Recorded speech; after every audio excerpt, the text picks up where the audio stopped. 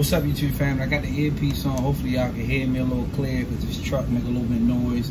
But uh, I just want to make a quick video, just touch with y'all uh, more cons that you need to look out for when you purchase a 15 passenger bus or uh, uh just a 15 passenger um, van. You know, you want to, you definitely want to look at your rotors, your rotors, your calipers and your brakes. You know, if you take it to a shop, you know, get them look at it for you. Uh, and your in and out of tie rods. Those things go out on uh, 15 passengers and buses a lot uh, often than they do on regular cars. Uh, for some reason, uh, extra large vehicles, I guess it's the material they make it with, for some reason it rushed out for some reason. Why, I don't know.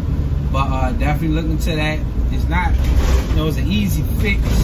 And it's not saying don't buy if you're looking to get into a 15 passenger van or anything like that. Uh, but, you know, you, your negotiation price, you know, if you know those things are going bad on the car, that can get you a better price, then, you know, you just get it fixed down the line, you know. But for me, for this bus, I'm just going to do, I'm doing uh, rotors and calipers and brakes all the way around, you know, and I'm gonna do the in and, in and out of tire rods. That's probably gonna run me, you know, anywhere between a thousand and fifteen hundred. But I'm just going to get it done. I'm hoping I can get it done for around that price. Uh, I got to get in and out of tire rods done on a 15 passenger van also. So just be mindful of stuff like that because you want to make sure your uh, your calipers are working right. My calipers act. One of my calipers seized on my 15 passenger about two weeks ago it costs about a thousand dollars to get uh, brakes, uh, calipers, rotors, but if uh, get everything cleaned out, get the line bled, you know. But that was a, a shop that charged a little bit more because I got calipers done before. Had another shop that cost about 800 you know. So you can shop around, but go to a shop where you know your work is going to be done the correct way. If you got to pay the money, just pay it. But those are definitely issues in 15 passenger vans and buses. In and out of tire rods, calipers, brakes, calipers seizing up and, and messing up the rotors and stuff. So just be mindful of that. Okay, the next time I want to just let y'all know I will be checking emails on Fridays and Saturdays. I know a lot of y'all email me, but I'm, I'm finally trying to live off the schedule, y'all and make a schedule. That's all the part. You know, you got to be disciplined in order to grow. But I won't be getting back. I won't be checking emails until Fridays and Saturdays. So if y'all email me for that, just know I'm not going to check it. But you will get a reply either on Friday evening or Saturday evening, y'all. I'm going to try to reply to everybody and answer everybody's question. Uh, best that I can answer. Y'all know I don't know everything. I don't I can tell y'all is what I'm going through and what I've done. Uh, next thing I want to talk about is people always ask me questions about uh, is it worth it? Is it money in this business? Etc. You know, stuff like that. If it, if it wasn't money in it, you guys, I wouldn't be doing it. You know what I mean? So I understand what you're really asking me. You're really asking me how much money are you making without asking. That's what I feel like some of y'all be asking me. But uh, of course, I'm not gonna tell y'all exactly how much money I make now, because I don't want nobody to know exactly how much money I make. But I can give y'all a range of how much money I'm making. You know, give you a range. Now, you know, if I was doing like a, a course and all this stuff, I don't feel like I, I just don't want nobody to know exactly what I'm making. But Maybe I will one day, but right now I give y'all range. I'm giving y'all ranges just to kind of help y'all out. But uh, I would to hit 15 to two grand a week.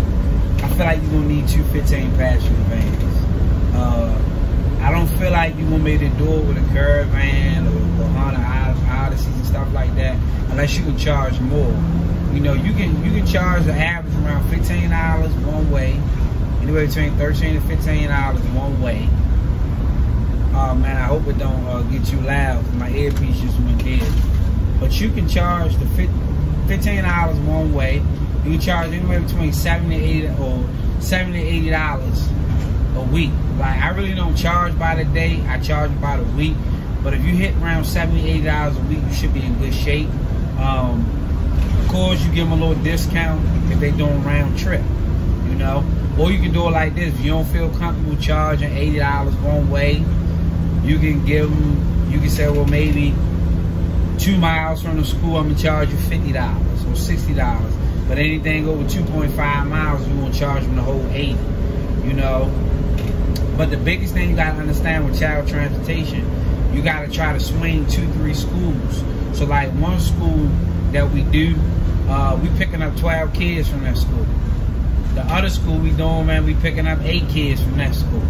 You know, the morning time we got like seven, eight kids that's going. You know what I mean? So you're gonna have more business in the evening than you are in the morning time. So that's what you gotta try to focus on. Getting two, three schools in the same areas because sometimes, man, you might take one vehicle, hit all three of those schools. You know? But if you got two 15 passengers, you should be able to handle two to three schools. And uh, you talking about you working from three to four, three to four thirty. You be back home four thirty. You know what I mean? So you working an hour and a half, and you leave out two thirty, get to where you going at. You get there by three. You hit the school, get the kids, you drop everybody off in an hour. You be back home by 4.30, 3.30. So yeah, yeah. You leave out 2.30, that's two hours. In the morning time, you might leave out 6.30 and you might be home by uh, 8. You know what I mean?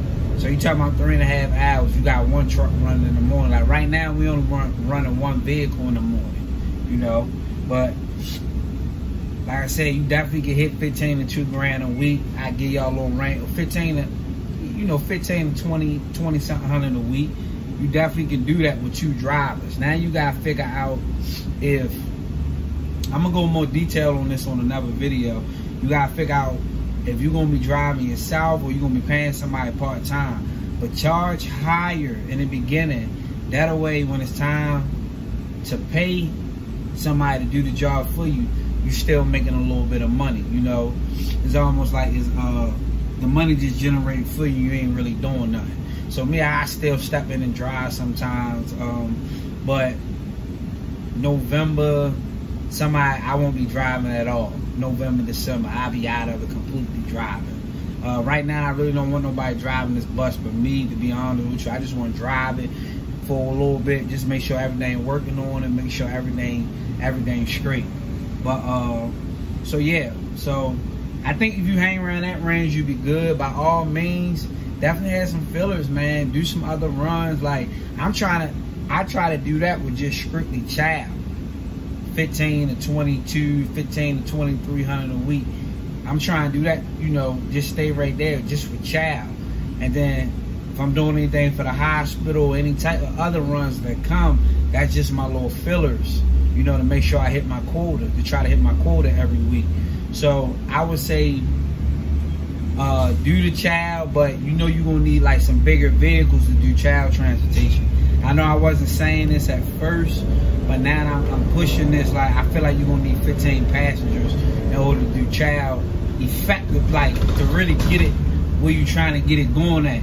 You can start with the smaller vehicles, like I did, you know, but uh, and I still have one smaller vehicle, but uh, you have to charge a little higher, unless you can just do pick up, drop, then do another pickup, then drop.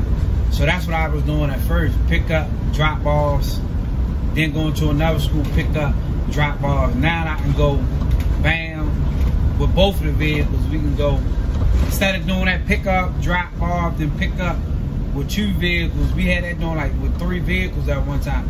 Now we got two big, bigger vehicles. We can go pick up here, pick up there, and then drop AI off together. So you know you gotta start from somewhere. So I just wanted to drop this little short video, y'all. Not really saying too much. Definitely want y'all to think about that before buying a bus. But y'all be blessed. I'll catch y'all on the next one.